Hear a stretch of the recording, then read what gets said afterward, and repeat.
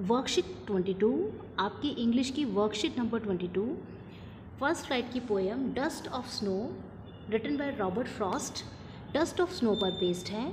इस पोएम के पोइट कौन है? Robert Frost on the basis of your reading of the poem आपको पोएम को पढ़ना है और जो M C Q type question दे रखे हैं, उनके आपको आंसर्स देने हैं।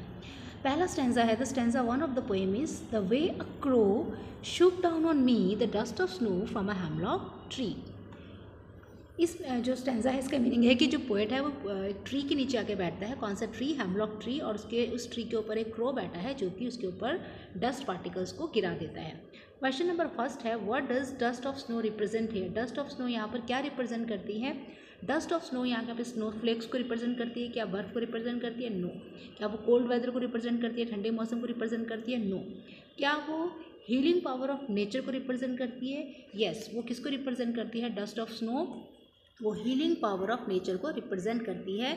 क्योंकि जो पोइट होता है, उसका मूड सैड होता है, वो उदास होता है वो पछता, वो रिग्रेट कर रहा होता है, पछता रहा होता है तो जब उस पर डस्ट ऑफ़ स्नो गिरती है तो उसका मूड बिल्कुल चेंज हो जाता है। तो हीलिंग पावर हीलिंग का मतलब होता है इसे हील हील कर देना मीन्स कोई घाव, कोई जख्म भर जाना तो जो नेचर है, ये बहुत सूदिंग होता है जो भी हमें बहुत कंफर्ट देता है, आराम देता है। प्रकृति हमारे लिए बहुत ज़्यादा हीलिंग होती है। सेकेंड क्वेश्चन है how did the poet react to the dust of snow falling on him जब उस पर डस्ट ऑफ़ स्नो गिरती है पोइट पर तो वो कैसे रिएक्ट करता है? जब डस्ट ऑफ़ स्नो उस पर गिरती है तो वो कैसे रिएक्ट करता है? क्या वो रिलीव मीन्स बिल्कुल आराम फील करता है बिल्कुल कोई बिल्कुल रिलीव हो जाना बिल्कुल किसी भी टेंशन से आप फ्री हो जाओगे। टायर्ड का मतलब होता है थक जाना एंग्री मतलब नाराज़ हो जाना फ्रस्ट्रेट का मतलब भी बिल्कुल परेशान हो जाना बिल्कुल आ, बिल्कुल नाराज़ हो जाना और हैप्पी का मतलब खुश हो जाना रिलैक्स का मतलब भी पॉजिटिव होता है कि बिल्कुल आराम आराम फील करना रिलैक्स फील करना स्ट्रेस का मतलब होता है बिल्कुल तनाव ले लेना। तो इस तरह से आपको कुछ पॉजिटिव और कुछ नेगेटिव वर्ड्स दे रखे हैं। तो पोइट को हमेशा पॉजिटिव फील होता है, जब उस पर डस्ट ऑफ़ स्नो गिरती है तो एक रिलीफ फील करता है पोइट एक पोइट हैप्पी फील करता है, एक पोइट रिलैक्स फील करता है। तो फ़र्स्ट फिफ्थ और सिक्स तो फ़र्स्ट और फिफ्थ और सिक्स जो है, वो है ऑप्शन नंबर वन ए तो ये हमारा आंसर है। उसके बाद स्टेंसर टू है हमारा has given my heart a change of mood and save some part of a day I had rued तो जो पोइट है, उसका जो हार्ट है, वो चेंज हो गया, उसका मूड चेंज हो गया है और जो उसका बाकी बचा हुआ दिन है, वो सेव हो गया है। वो पूरा दिन रीड करता रहा, पूरा दिन रिग्रेट करता रहा, पछताता रहा, उसका मूड सैड था, लेकिन अब उसका जो मूड है, वो क्या हो गया हैप्पी हो गया है। नेक्स्ट क्वेश्चन है question number three what does the poet not think about the nature जो पोएट है, वो नेचर के बारे में क्या चीज़ नहीं सोचता है? तो नेचर हील करता है यस हील भी करता है। नेचर सोर्स ऑफ़ जॉय है, हमें खुशी भी देता है। It inspires to be positive ये हमें पॉजिटिव रहने के लिए भी इंस्पिरेशन देता है। लेकिन नेचर हमें उदास नहीं करता, हमें सैडन नहीं करता। तो इसका जो आंसर है, जो not think about the nature poet nature के बारे में क्या चीज़ नहीं सोचता तो वो है इट सैडन्स वो हमें ना, उदास करता है नेचर ऐसा नहीं होता, बाकी सब होता है। Which word describe the poet's mood at the end of the stanza two जब स्टेंजर टू खत्म होता है तो पोइट कैसा होता है? इरीटेटेड इरीटेटेड होता है? नहीं, वो इरीटेटेड नहीं होता। क्या वो ग्रेटफुल होता है? कि वो ग्रेटफुल का मतलब होता है हम पे किए हुए किसी उपकार को हम मानते हैं थैंकफुल होना। हैप्पी होता है डिलाइटेड होता है परजर्विडेंट होता है। परजर्विडेंट का मीनिंग क्या होता है? परजर्विडेंट का जो वर्ड हमारा परजर्विडेंट है